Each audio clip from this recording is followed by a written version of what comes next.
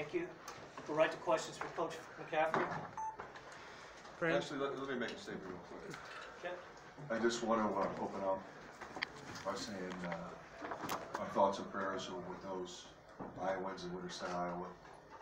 Uh, Want them to know that the uh, Hawkeye family is thinking about them and praying for them. You know, we put a lot of emphasis on wins and losses, but you know what they're going through right now is really difficult. I just want them to know that we're thinking about okay. Go ahead. Fran, was that a good basketball game?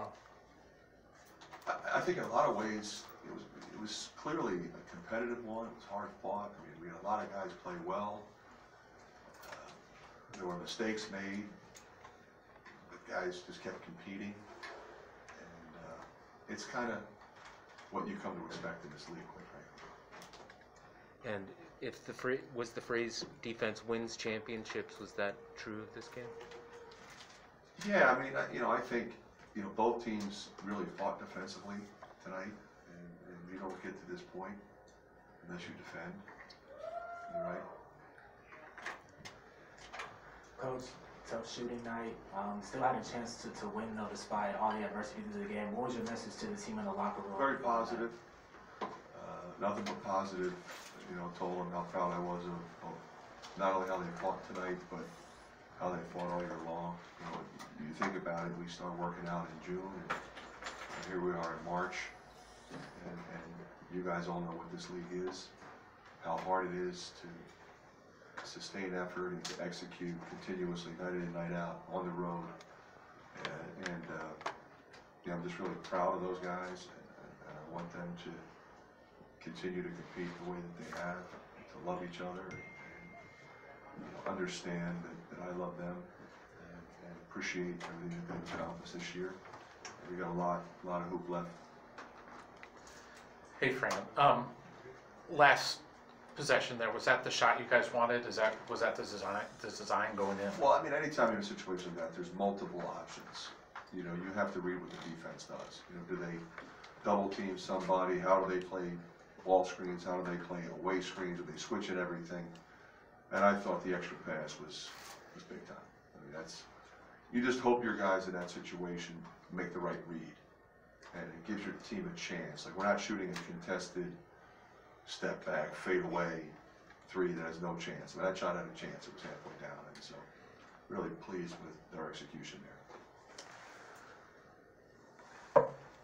Now that the, the regular season is officially over, going into the tournament, um, you know, how can you put into perspective what the team accomplished down the stretch to, to put themselves in position to be top five in the league?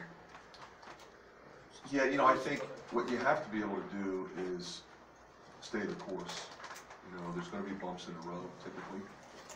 Uh, You know, we made a lineup change, and those guys, okay, coach, whatever you need me to do. And that's what you always appreciate as a coach. You have guys that, that really understand how to put winning first, and that this team has done that. They kept grinding, they kept working. We continued to get better. There were a lot of young guys that needed to develop, and they did. It takes time. And, and you wanna have patience, and you wanna be positive, which I was. So I'm really proud of that. Fran, the other day, you, you said you were kind of, you know, mad at yourself for not playing Peyton. He came in there and gave you some really good minutes in the first half. Yeah, it's, you know, it- I said this before, I mean, it's hard to play ten, and and he's one of ten. You know, Patrick's not here, so it gives him a little more opportunity, but that kid's a really good player. I mean, not only did he make shots, I mean, some of the feeds he made, I mean, he was, you know, in the right place. You know, you're watching a young guy trying to figure it out. I mean, they run really good stuff. They've got a lot of quickness. They've got multiple three-point shooters. They've got size. So he's making a lot of decisions out there quickly. And, uh, we put him in a position that he had to do that, he was exceptional. Uh, 26 rebound improvement from the first meeting. I think most impressively, Tony had double digit rebounds. What did you see from the team? Well, Tony was great, uh, you know, 17, 12, and 5, and what a, what a, what a great game he had. But, you know, you can't expect to come in here and get out rebounded by 29. I mean, you're going to lose by 29, like I said the other day, if you do that. It was amazing that we were as close as we were. We only gave three offensive rebounds in the second half to give you a chance against this team. Senior night, any particular line you're not gonna miss? I, you know, truth of the matter is, I mean, I just got a lot of respect for those guys. I mean, we've had great games with them.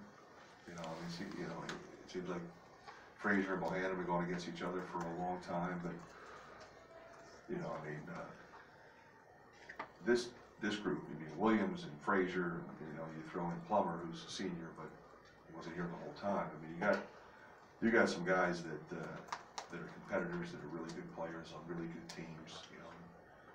I've Been very impressed with the job that Brad has done with this group, not only this year, but over the years, you know, since he got here, so. You know, I, I, I have the ultimate respect for this team, this program.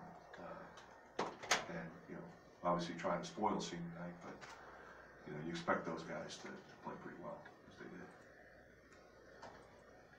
Anything else? Thank you. Steve Kennington, who you want to talk to?